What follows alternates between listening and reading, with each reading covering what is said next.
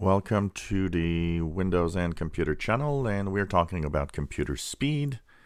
There are a few things that you can actually um, help improve your PC speed with um, hardware that isn't very expensive, often less expensive than buying a brand new PC, that also will actually speed up your computer. One of them is RAM memory or random access memory.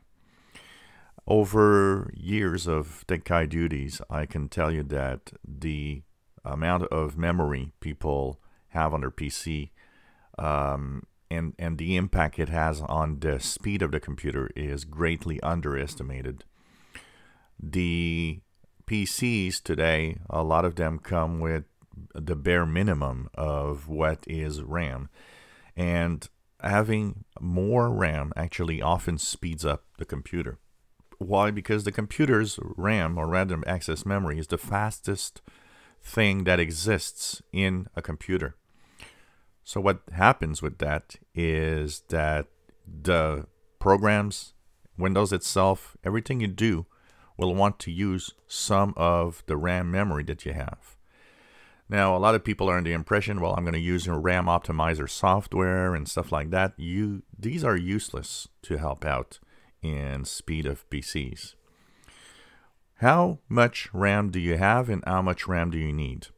To know how much memory you have, you can right click on the bottom in the taskbar, go into Task Manager, and in the Performance tab, you will see the amount of memory that is available on your PC and the memory options.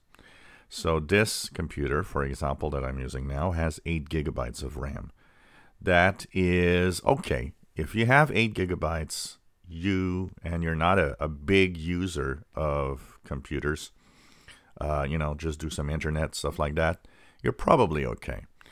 Uh, if you have four, I would actually tell you, you know what, upgrade your memory to more than four. If you're a user of a big software, you have a lot of uh, programs open at the same time and so on, even 8, I would recommend that you could actually upgrade this to more than that. In general, I would say that today's PCs to run smoothly and run well should be around 16 gigabytes of RAM.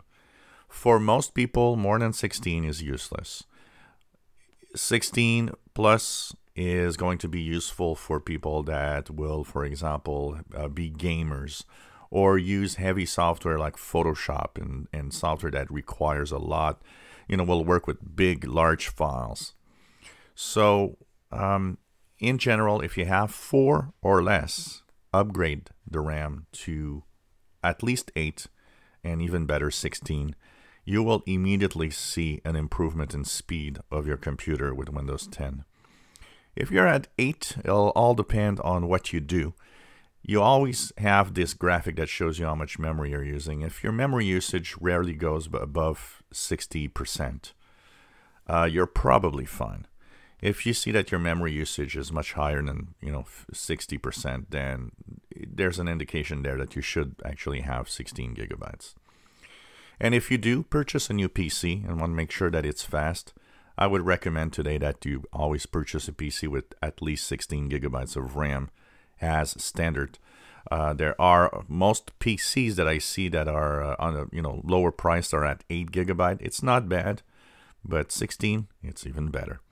So upgrading RAM is actually an easy task for a lot of computers out there, and of course you can have the help of somebody that knows what he's doing, uh, and or if you bring your PC in to a checkup for a tech guy, well, why not ask him to upgrade that memory to, uh, you know, have more RAM, meaning that you'll have more speed because the more memory you have, the more the uh, computer will use it and uh, less access to the hard drive it has. So it usually speeds up the PC quite a lot. If you enjoy our videos, please subscribe, give us thumbs up. Thank you for watching our videos.